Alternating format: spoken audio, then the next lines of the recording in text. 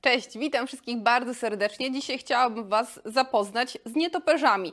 E, troszeczkę mają złą sławę, więc chciałabym Wam troszeczkę je wybielić. A że nietoperze pojawiły się w Bydgoszczy, czyli dość niedaleko, to warto by się troszeczkę o nich więcej dowiedzieć. Zacznijmy najpierw od tego artykułu, który, który został zdigitalizowany. Tak? E, było liczenie nietoperzy zimą, odbyło się takie e, liczenie.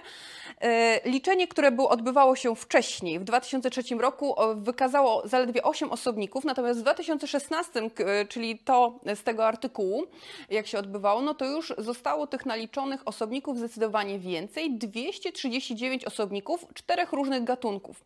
W jaki sposób e, były one liczone na tym zimowisku? Bez żadnego wybudzania. Były specjalne lampy używane takie, które by nie raziły światłem tych nietoperzy, żeby one spokojnie mogły sobie tam e, bytować, spokojnie mogły sobie tam e, być, tak naprawdę e, w tym miejscu, w tych ruinach browaru. E, potem powtórzono badanie, sprawdzono w 2017 roku, ile ich tam jest, i okazało się, że liczba wzrosła 375 osobników i doszedł jeden gatunek, czyli e, okazało się, że jest aż 5 gatunków. Jakie są wnioski, jeśli chodzi o to zimowe liczenie?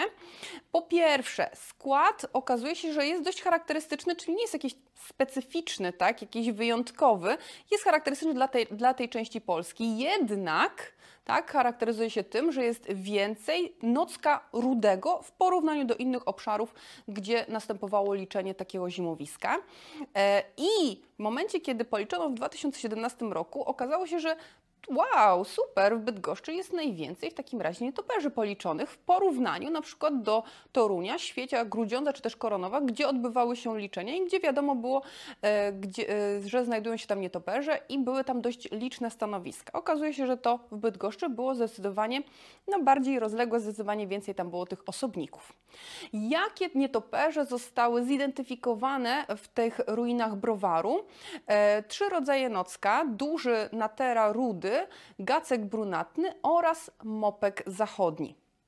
E, nie będę Wam opowiadać o wszystkich nietoperzach. Wystarczy chyba o jednym takim najbardziej charakterystycznym, no Hmm, weźmy może tego największego, czyli nocka dużego. Tutaj macie zdjęcie pojedynczego osobnika oraz skupisko z zimowiska, tak? czyli widać ich zdecydowanie więcej. On jest największym nietoperzem w Europie. Jak zazwyczaj, no staram się nie mówić, jakiej jest wielkości zwierzę, bo to zazwyczaj umyka taka informacja. Jednak tu chciałabym Wam mm, troszeczkę przybliżyć, ponieważ no, pomyślicie, Boże, bocian, tak? Wielkości to będzie bociana, orła. Nie, moi drodzy. E, jeśli chodzi o nocka dużego, no to ten największy nietoperz w Europie, długość ciała ma około 6 do 8 cm.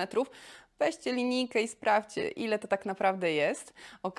Ogon ma 4 do 6 cm, czyli naprawdę nie jest to duże zwierzę, tak? Czyli nie, przyrównuj, nie przyrównujmy go do bociana czy też do orła. Zdecydowanie jest mniejszy, bardziej jakiś kruk. ok? E, rozpiętość skrzydeł 35-45 cm, a i może jeszcze jedna informacja, nietoperze to są ssaki, tak? Tutaj e, jeśli chodzi o skrzydła, nie zbudowane one są z żadnych piór. Tutaj będzie e, błona, która znajdu, znajduje się e, tutaj przyklejona do, e, do ciała, ok, do skóry. Samice tworzą zazwyczaj kolonie, natomiast samce będą żyć osobno. To jest też taka dość charakterystyczna. Jeśli chodzi o nocka dużego, no to już wielkość znacie, ale będzie się charakteryzować również takim białym brzuszkiem. Naprawdę słodko wygląda. E, I co jeszcze? A, czasami kobiety się boją, obawiają nietoperzy, dlatego że mogą we włosy e, się wplątać. Nieprawda.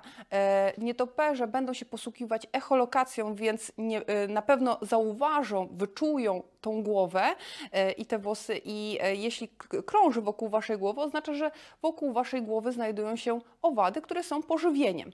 No i właśnie, może jeszcze przejdźmy w takim razie do tego, dlaczego chroni, dlaczego warto chronić nietoperze, dlatego że zjadają niezliczone ilości komarów. Jak dla mnie, super, dwa kciuki w górę, będą polować na te nie tylko na komary, ale również na szkodniki, e, na przykład naszych upraw.